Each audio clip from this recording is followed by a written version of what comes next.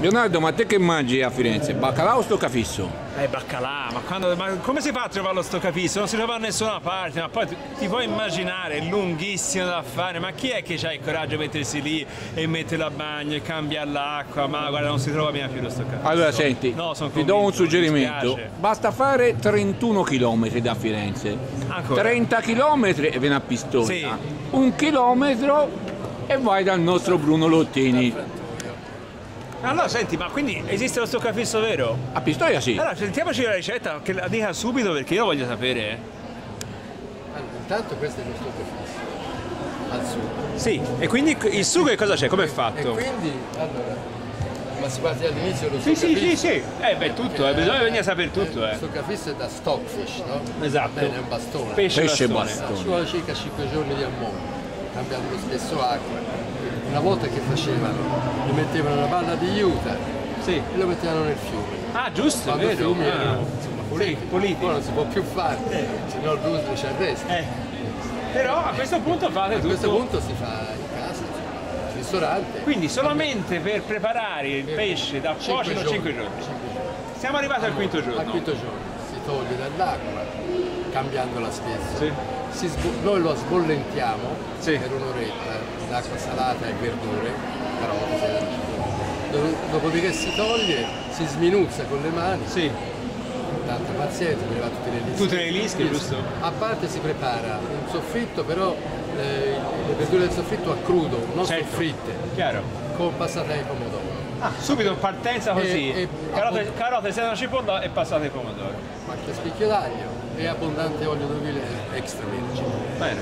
Dopodiché lo stoccafisso sminuzzato lo poniamo nel tegame ampio e lo cuociamo a fuoco lento per circa due ore. Quindi non c'è cottura di olio soffritto, No. questo è importante, quindi è un olio che deve vedere sapore senza però dare questo problema della soffrittura. Quindi cottura lunga. No, Quanto ci vorrà dopo? due ore. Due ore dopo aver già fatto un'ora di sbollentamento e i cinque giorni di- dell'acqua, quindi non è che cosa. No, pazienza e tanto magari amore per la cucina. Porca miseria, senti Odorino? Ma è pazzesco. Va questo bene, eh, la videocamera non lo Eh racconta. no, lo so, però lo, lo- lo racconto io per quello. Magari ce lo facciamo raccontare dall'Elena poi. Questo voglio assaggiarlo, questo mi piace secondo me.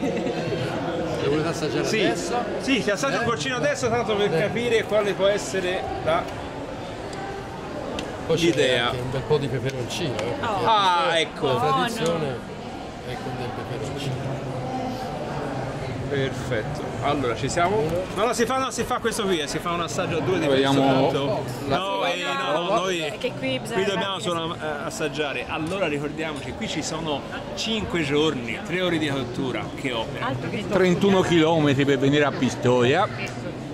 Capito Armando e con- continuerò a venire a Pistoia. No, via.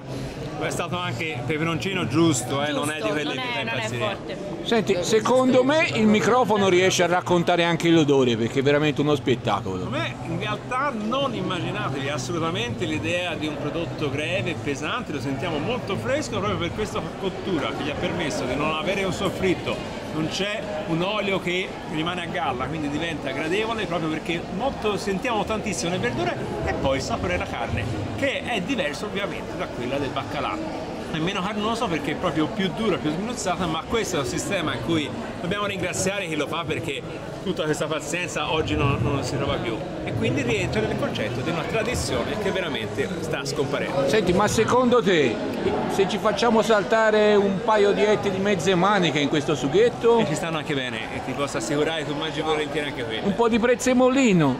Sì, Eh? ma guarda, ma è già buono così, eh. com- è perfetto. È perfetto così. Senti, ma si può fare prima o poi un po' di mezze maniche saltate? Certamente, perché? Va bene, allora ci troviamo al frantoio. Al frantoio. Ciao! Ciao, grazie della visita.